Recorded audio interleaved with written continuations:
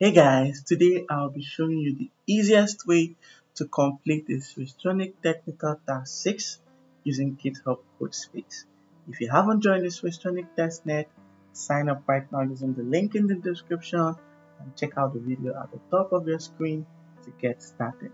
Ignore the fact that it's showing as task 4 here because the Swisstronik dashboard has a strange way of numbering tasks. Now this task involves creating and deploying a simple smart contract, upgrading the simple smart contract by implementing a proxy, and updating the implementation of the contract in your code and deploying the changes to the Swisstronik testnet.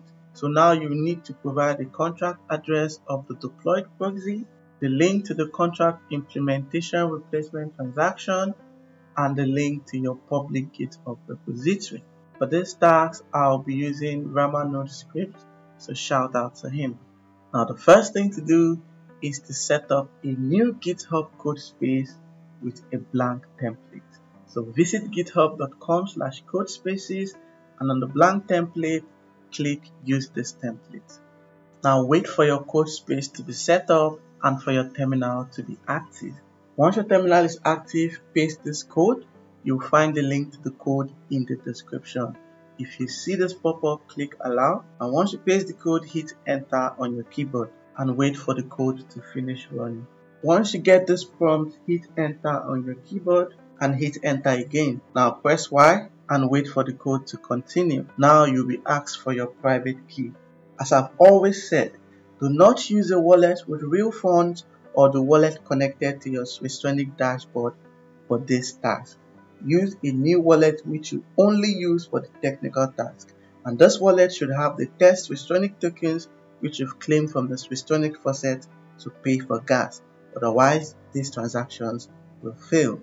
If you don't know how to set up a new Swisstronik wallet, fund it with the Swisstronik faucet or get your private key, check out the link in the description. So once you paste your private key, if you see this pop up, click X to close and hit enter. Now wait for the code to continue. So now the code is complete. You need to scroll up because there are so many areas of this code that have been hidden. You can also use this slider here. You can slide it up to resize your terminal so you can see more info. So there are lots of info hidden in this terminal which you need to scroll up to find. The first one is the contract address of the deployed proxy and this is what you're looking for. Proxy Swisstronik deployed to this particular contract address.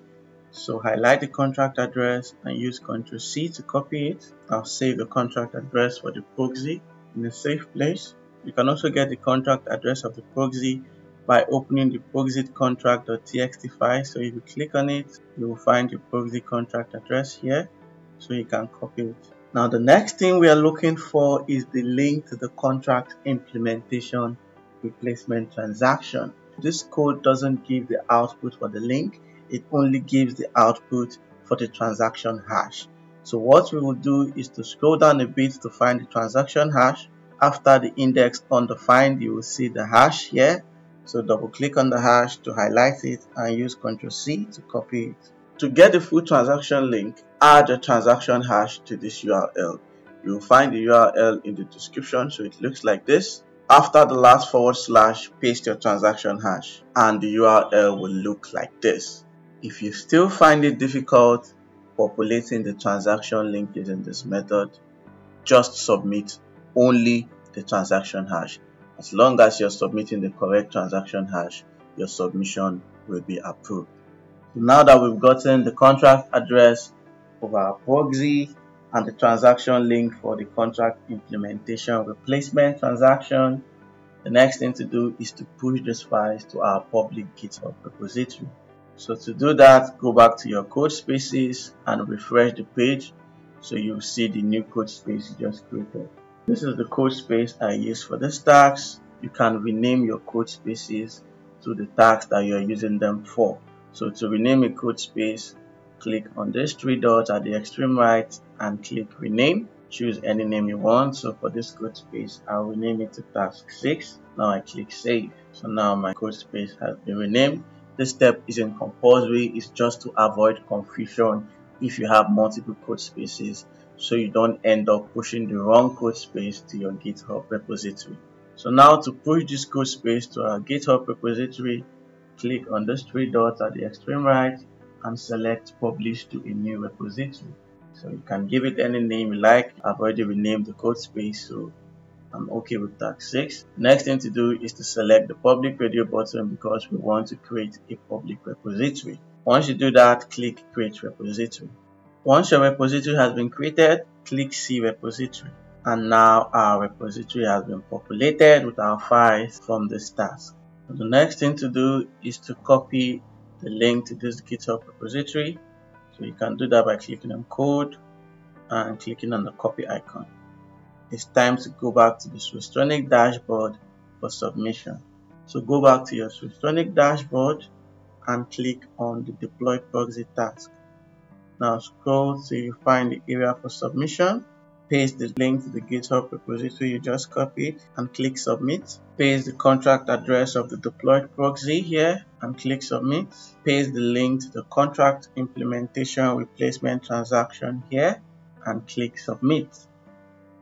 So that's it. We've completed the Swisstronik Technical Task 6. If you haven't completed Task 1 to 5, check out the video guides in the description. If this video has helped you, like, comment, share and subscribe to my YouTube channel. If you have any issues, ask for help in my Telegram group. The link to the group is in the description. Join my Telegram channel for more Swisstronik testnet updates, crypto airdrops, tips, and tutorials. Don't forget we are still in the season of Telegram airdrops, so check out the bonus section of this video description and sign up on some of the hottest Telegram airdrops today. So keep completing your Swisstronik testnet tasks, stay safe, and I'll see you in the next video.